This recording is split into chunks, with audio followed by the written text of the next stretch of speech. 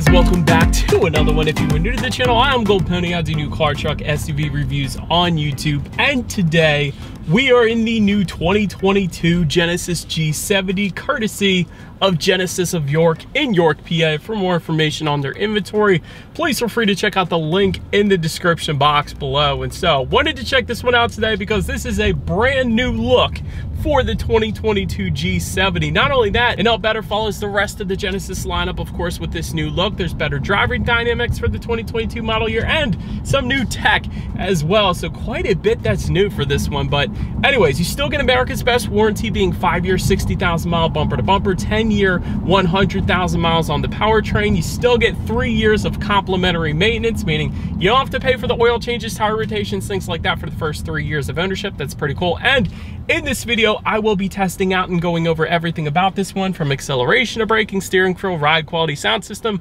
exhaust clip, all that fun stuff. So having said all of that, what do you guys say? Let's just go ahead and jump right into it. And as always, let's start with pricing. And so there will be several different configurations when it comes to the 2022 G70. First one is the 2.0T rear wheel drive starting at $37,525. If you wanted to add all wheel drive to that, add $2,100. And then there is a prestige package for that particular engine configuration that is going to add $4,000 then. But then there is the 3.3T V6 rear wheel drive. That one starts at $42,100. If you wanted to add all wheel drive, add $2,100 yet again. Sport Advanced Package for that one adds 4,300. Sport Prestige adds 8,300. And lastly, the Launch Edition, which is the one we have today, which by the way, is limited to a number of 500 units produced. So a little bit of scarcity there. That's pretty cool, but that is going to add $10,400 then. But so anyways, as I alluded to, there are two different engine configurations for the 2022 G70. First one being a two liter turbocharged inline four cylinder.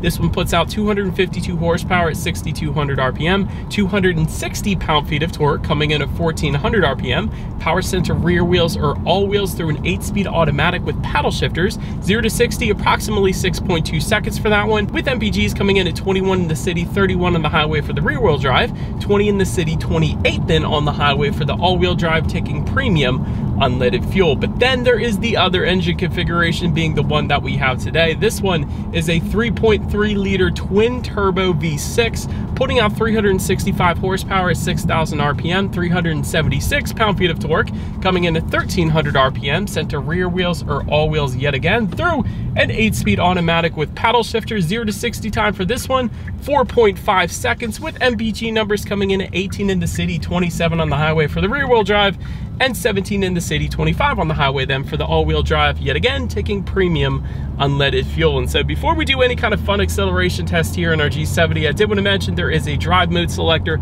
located directly behind the shifter that will give you drive modes including comfort, smart, eco, sport, and custom. And actually, in addition to that, there is a sport plus driving mode as well this year. And by the way, that's new for the 2022 G70, and that's pretty cool. And actually a new drift mode as well. That's only gonna be available with the sport package, by the way. So I did wanna mention that. Essentially, that is available for the all-wheel drive configuration, and it's gonna send all power to the rear wheels. It's gonna turn off traction control, essentially allowing you to drift all over the place. So anyways, other than that, these drive modes will adjust things like the shift points, the throttle response, steering sensitivity, the suspension settings, the all-wheel drive system engagement, also the seating. I just put it in sport driving mode and the side bolsters on this driver's seat just kind of tightened up, better hugging me in place. Maybe for a little quicker drive on the back roads around the corners. That is pretty darn cool. And not only that, it adjusted the exhaust note quite substantially as well. We'll get to that exhaust clip in a little bit here, but ultimately that's pretty much everything you could possibly adjust when it comes to driving modes out there right now so that is pretty cool but nonetheless now let's go ahead and find a straightaway let me put the paddle shifters here to the test first and let's see how quickly these things are going to react for us here all right you guys let's put these things to the test oh my goodness stupid quick, but paddle shifters are all right. Not the very quickest reactive paddle shifters, but they're still pretty darn quick. I will say that. And they feel good too. They feel very high quality. So I do want to mention that as well. But now let me go ahead and give back full control here to the G70 and let's do this one more time and let's do a quick acceleration test now. Let's see how quickly this thing really feels getting up to 60 in approximately 4.5 seconds. All right, you guys, coming out onto the main road here in three, two, one. Oh, good grief. This thing is a rocket. Mm. Freaking love it. that thing is dang quick. I'll tell you what, I just drove the uh, the new GV70 and it has a similar engine. It has a twin turbo V6. This thing feels so much quicker than that. And that one does 60 and 4.9. This one does it in 4.5. It is a noticeable difference. Let me just tell you that. This thing is dang quick. I, you shouldn't have any issues merging onto the highway. That yeah, that was fun. Anyways, to go along with that acceleration, as always, braking is equally important. And so up front, you will find 13.8 inch ventilated front discs. In the back, 13.4 inch rear discs. Performance Brembo brakes coming with a 3.3 liter Sport Prestige package or Launch Edition that we have today. So that's gonna give you a little better stopping feel there. 60 to 0 stopping distance, by the way, comes in at an impressive 109 feet. And actually for a performance sedan, that is dang impressive. Usually with sedans, coming in the 120s, but 109 feet, that's really, really good, you guys. By the way, braking feel is perfectly fine. Absolutely no issues there whatsoever. But then touching on suspension and handling, in the front you will find an independent strut type front suspension. In the back, independent multi-link rear suspension, front and rear stabilizer bars, Sport Tune suspension coming with a 3.3 liter, wanted to mention that. And actually the Sport Prestige and Launch Edition trims are in addition going to add to that a limited slip differential and an electronically controlled suspension as well. So let me elaborate on the electronically controlled suspension. That's essentially what Genesis uses as their adaptive damping damping suspension. It actually uses a camera system to monitor the road's imperfections and then adjusts accordingly based on that to give you a much smoother ride essentially. So I did want to mention that that's how that system actually works. But overall, as far as ride quality goes, it feels perfectly fine. So definitely soaking up Pennsylvania's road imperfections quite nicely. I will say it doesn't feel quite as smooth as the GV70 I just got done driving, but still a plenty smooth ride without a doubt. But touching then on steering feel, I will say it is a noticeable difference than the previous generation. This must be one of the things that Genesis adjusted because I remember even on the previous 3.3 liter twin turbo G70 back before this whole redesign, it was kind of a looser steering feel, but with this new one, the 2022 year, it is a noticeably heavier steering feel. So I appreciate that. Maybe Genesis watched one of my previous videos, took some notes and made adjustments for this year. If you did Genesis, I know you did. Thank you. Anyways, then touching on cabin noise, there is an acoustic laminated front windshield and with any particular package option, acoustic laminated front side glass then as well. So for that particular reason, it is a very serene cabin with the exception of this brilliant exhaust note that I have currently because I put it in sport driving mode. But of course, you can put it back to comfort mode and that essentially goes away. But a very serene cabin here in the G70, I will say that. But then touching on visibility, I can see perfectly fine out the back. Definitely not gonna have any issues with rear visibility there. In addition to that, any package option is going to give you rain sensing windshield wipers. Essentially what that is, is when the G70 detects any kind of mist or rainfall, it's gonna automatically turn on those windshield wipers for you. So it's just one last thing you got to worry about there. That is pretty cool. And if you were to go with that Sport Prestige or Launch Edition trim level, you will get a head-up display that I am currently looking at right now. It's giving me my current speed, the speed limit of any given road that I am on, and also some safety features actually as well. But that about rounds out the performance segment of this review, you guys. Let's now go ahead and take a look at the exterior of our brand new 2022 Genesis G70. All right, and so here she is now, you guys, the new 2022 Genesis G70 finished in Melbourne Gray. Let me elaborate on this matte gray paint color real quick. This is part of the Launch Edition trim. The Launch Edition trim is going to give you a choice of one of two matte colors, this being one of them. Anyways, let's go ahead and start up front. Of course, a completely revised front end for the 2022 G70. And of course, it adopts that large shield-shaped front grille used by the rest of the current Genesis lineup. Another thing I wanted to point out though, that adaptive cruise control sensor is still integrated very well into that front grille. So did want to mention that is still there. To the sides though, LED quad beam headlights do come standard across the board. They of course do come with the automatic feature as well, meaning when it starts to get dark out at night, those headlights will turn on automatically for you there. LED daytime running lights also coming standard and then to the bottom corners there, you guys can probably see it. There are some front air curtains helping direct air around the wheel and tire combination, giving a little better aerodynamics there as well. But one of my favorite features, I think I've mentioned this in my previous reviews of the G70 as well, is this Genesis logo and how the creases around it kind of just continue on to the hood and kind of open up there at the tail end. So I absolutely love that design element as well. But overall, so much better of a front end to the G70 compared to the previous generation. Not that the previous one was bad, but this one is dang good. I just wanted to mention that. But now let's go ahead and make our way to the side of the G70. All right, and so I'm kind of limited on space here because of all the woods here, but hopefully the side profile is going to do it justice. But gloss black window surrounds are an option, or you can get this dark chrome look that we currently have, that you are currently looking at, I should say, right now. But one of my favorite design elements to the new G70 are these gloss black accents found in the lower portion of the front fender. In case you guys are curious, you guys can see it towards the bottom there. Yes, they are actually functional for aerodynamic purposes. So I do actually like that they are there. So well done, Genesis. I like these accents. But so then taking a look at the side mirrors, they are body colored, power adjustable side mirrors. They will be heated across the board with LED integrated turn signals as well. They are also, however, power folding with the Genesis logo that illuminates onto the ground at night. And by the way, that comes with any particular package option that you get. So I did want to mention that, but that is a pretty cool look at night. Can't show it to you guys right now, but it's going to look pretty darn good at night. So I did want to mention that. Then taking a look at the wheel setup, because this is specific again to our launch edition that we're currently looking at. But 18 inch alloys coming with the 2.0T, 19 inch alloys then for every other configuration and specific lightweight alloy wheels for this launch edition trim that we currently have today. They kind of look like the performance pack wheels back on the Ford Mustang GT that I had. So they look pretty darn good, I will say that. And the fact that they're lightweight for the launch edition makes them even better, of course. But overall, that about rounds out the side of this one. Let's go ahead and make our way to the back. It's open now since we are around back of this one. Of course, you have a matte gray shark fin antenna located all the way to the top there. Just below that, you kind of have a somewhat integrated rear spoiler. It kind of looks like it's not technically a rear spoiler, but it looks pretty darn good there nonetheless. Just below that, Genesis lettering spelled out horizontally. Of course, you have the all-wheel all-wheel drive badging to the right, and of course the engine designation just beside that as well. But then to the sides, redesigned LED taillights coming standard across the board. Gotta love that as well. And all the way to the bottom, you will find dual oval exhaust outlets coming standard integrated into the rear bumper. It's such a good look when exhaust outlets are integrated into the bumper in my personal opinion. So Having said that, like I said earlier, there are a couple different exhaust note configurations based on the drive mode. So I'm gonna play both of them for you guys. Let me know what you think in the comments. As always, here is that exhaust clip.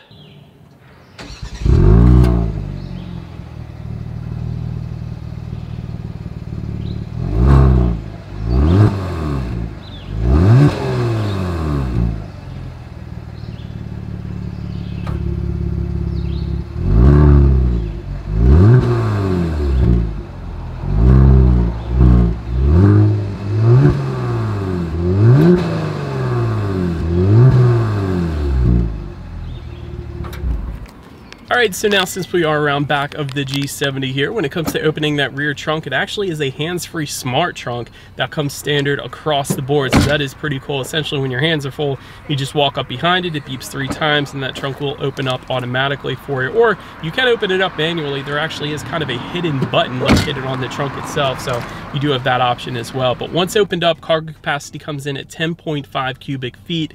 If that was not enough space, there is a 60-40 split, meaning the rear seats do fold down for quite a bit of extra space there if you needed it then.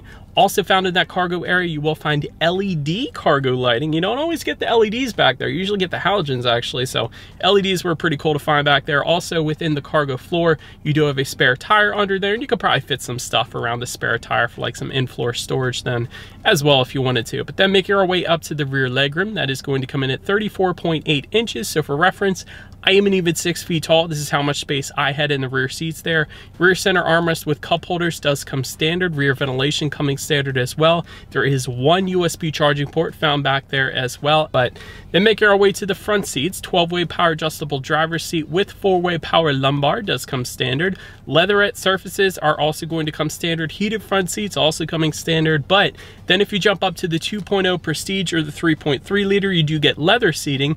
Memory settings are going to come with all the 3.3 liter trim levels. Ventilated front seats coming with the 3.3 liter Sport Advanced trim level and up. Nappa leather seating coming with the Sport Prestige then and Launch Edition trim levels as well. And overall, actually, seating was plenty comfortable. I definitely did not have any issues with the seat comfort whatsoever. I love the quilted look as well. It is pretty darn cool. Also, I love the red leather. That is pretty cool. It definitely stands out, so it makes a statement. So definitely no issues with seat comfort whatsoever. But then taking a look at the steering wheel, it is tilt and telescoping. It is power adjustable for any of the 3.3 liter trim levels, and it will be heated then as well. That comes standard, by the way. That is pretty cool. I liked that. And actually, that button for the heated steering wheel is located right around the climate control system stuff as opposed to actually on the steering wheel. So I wanted to mention that for you guys. But nonetheless, let's go ahead now and make our way to the startup. And let me start by showing you guys the key. You do have your Genesis logo on the one side. When you flip it over, lock, unlock, the button to pop the rear hatch. And that circular button that says hold, that is going to be your remote start as well. But it is all a push button start and you actually do get a digital key if you were to go with the 3.3 liter Sport Advanced trim level and up. But essentially it's just an app that you download onto your phone. You hold your phone up to the driver's side door handle or any door handle for that matter and then place it on the wireless phone charger and then you're able to actually start this one up by the push button start. So I wanted to mention that, but nonetheless, I'm gonna go ahead and put my foot on the brake and press that engine start button. But once started up, speedometer is gonna be all the way to your left. Then there is a digital portion to the gauges front and center and also to your right, including that tachometer. But to adjust what is on those gauges, there actually are steering wheel mounted controls found on the right side of the steering wheel. So with that, you can check out your outside temperature, how many miles you have left until you hit empty. There is a compass up there, course, trip A, trip B, plenty of safety information you could check out up there when you need your next oil change. The list goes on, pretty much everything you could possibly want up there. But then making our way to overall interior quality, there is a wide sunroof with any particular package option. That's how you're gonna get the sunroof there. Overhead sunglass holder is going to come standard across the board. There is a microfiber suede headliner for the 3.3 liter Sport Prestige and Launch Edition trims. That is currently what you guys are looking at right now. I love suede headliners. Those are typically what you find in Porsche, Lamborghini cars like that. So definitely a huge fan of seeing that here in our G70. Aluminum trim accents found on the doors as well as just above the passenger side glove box. Also love that. And there's some aluminum trim accents on the actual glove box handle itself, which is pretty darn cool, I gotta say alloy foot pedals coming with the sport packages and of course our launch edition trim then as well. Wireless phone charger can be had with any particular package option that is pretty darn cool. And overall, I absolutely love the interior quality. I love that the quilted leather on the seats is brought onto the doors as well. And there's plenty of soft touch surfaces. I love the contrast stitching throughout. I love that it's a two-toned interior with the red and the black accents everywhere. Just in front of the shifter, you'll find a 12 volt power outlet, USB charging port, and of course your wireless phone charger there there as well. Just behind the shifter, you have your drive mode adjustments, electromechanical parking brake, and dual cup holders, of course, as well. And just behind that, Within the center armrest, there is one USB charging port and a decent amount of space overall. Then also one more thing I didn't want to forget, there is an auto dimming rearview mirror, of course, with HomeLink controls for up to three different garage doors. So interior quality is certainly on point in the new G70 without a doubt. But let me now make my way to one of the new features for the 2022 G70 on the interior here, which is gonna be the tech, a 10 and a quarter inch color touchscreen display now comes standard, whereas previously, I think it was an 8-inch screen, if I remember correctly. But nonetheless, this is pretty darn cool. Bluetooth and audio streaming do come standard, Android Auto, Apple CarPlay, factory navigation system also coming standard. You actually have a voice memo system up there as well. So if you do not want to forget something, simply just make that voice memo and then play it back at a later date so you don't forget. Check out your climate control information up there as well. And my personal favorite sounds of nature. So like I always do in Hyundai and Genesis products, let me go ahead and pause for a second here and let you guys listen to some sounds of nature.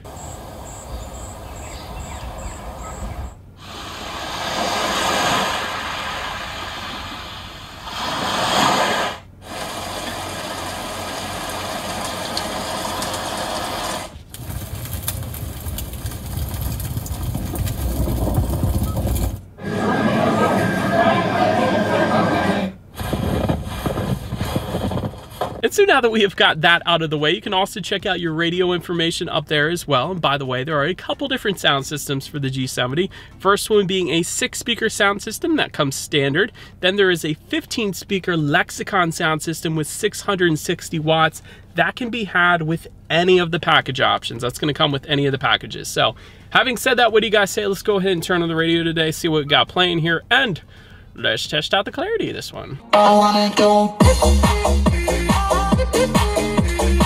It's great. Lexicon always kills it. Like the clarity is always what really blows me away with these Lexicon sound systems, whether it be in the G80, the GV70, or this G70. Clarity is 100% on point, and I guess it's expected with that many speakers, but bass is plenty fine as well, but the clarity is really what blows me away there. But last thing I wanted to mention to you guys on the infotainment screen is, of course, when you do put the G70 in reverse, you will find a rear view camera coming standard across the board. It's very high definition as well, so well done Genesis for that. But not only that, that, there is a surround view monitor then coming with the Sport Prestige and Launch Edition trim levels, which is going to give you that bird's eye view all around you to the right there. But as always, that is going to lead us into safety. And so it gets even better when it comes to safety because the G70 is an IIHS top safety pick plus which is the very highest designation given by IIHS. So that pretty much says it all right there, but I'm going to continue nonetheless. Front side side curtain airbags do come standard. Driver's knee airbag as well. In the back, you're going to have latch, aka lower anchors and tethers for children for the rear car seats. Rear child door locks, tire pressure monitoring system, but also coming standard across the board. A ton of advanced safety, including adaptive cruise control with stop and go,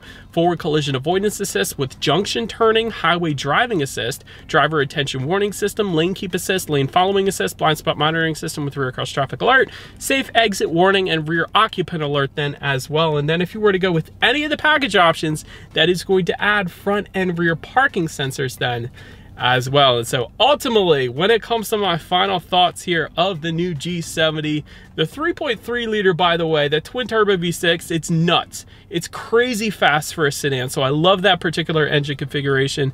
Great braking actually on this thing as well. 60 to 0 and 109 feet is absolutely brilliant. I do want to say that. The new active valve exhaust system is really good as well. I'm sure you guys could tell that from the exhaust clip. Great safety on this one. IIHS Top Safety Pick Plus. Like I said, you get America's best warranty. As far as room for improvement goes, it is really only one thing, you guys. One thing only, and that is going to be a full digital gauge cluster. And let me elaborate on that because the GV70 I just got done driving not only had a full digital gauge cluster, but a 3D digital gauge cluster, which is the best gauge cluster I have ever seen. So Genesis, I know you're capable of it. When you get a chance, go ahead and put a full digital gauge cluster in the G70. After all, my Sonata even has a full digital gauge cluster. I think the G70 should get it as well. But that about rounds out this review, you guys. Thank you so much for watching. Let me know what you think of the G70 in the comments section below. Be sure to follow me on TikTok if you wanted to see some short clips of these vehicles before they actually get to YouTube.